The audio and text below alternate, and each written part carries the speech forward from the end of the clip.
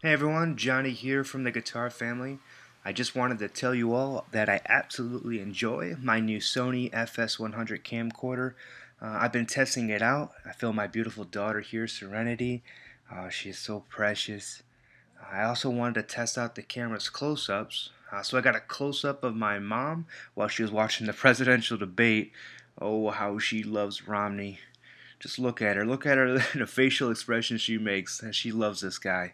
Absolutely. A anyways, I then decided I wanted to test out how it would hold up against the night sky, uh, since I, you know I love filming the sky so much. And it turns out uh, you can shoot in almost pitch black with this camcorder. Uh, so I was fairly impressed with that. Uh, I was tracking this plane move across the sky as well, and uh, because the the shutter speed was so low, the amount of frames that was capturing per second, uh, you can definitely see it, but it, it, almost makes the plane look like uh, something out of this world. Uh, as you can see, it might even be uh, categorized as a UFO, but definitely it's not. It's just a plane flying across the sky, and, and uh, you know, once again, I was fairly impressed. At this point here, you know, it gets a little darker because I was actually raising the uh, shutter speed um, so it captures more frames per second and that ends up making it so you can't see as well in the dark. So less frames, the better you can see.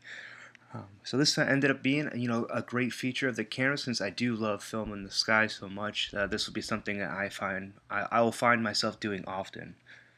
Um, now, you know, I was moving around the sky and you know checking checking things out, uh, and I did come across something very interesting. I, I found Jupiter, and I decided to zoom in on it now, the great thing about this was that um, I could actually see Jupiter's moons.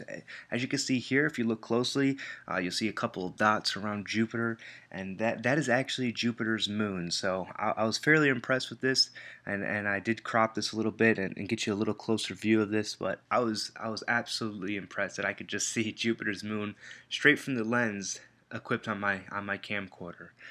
Uh, but anyways, uh, it was a it was a great test test run. I hope you've all enjoyed this.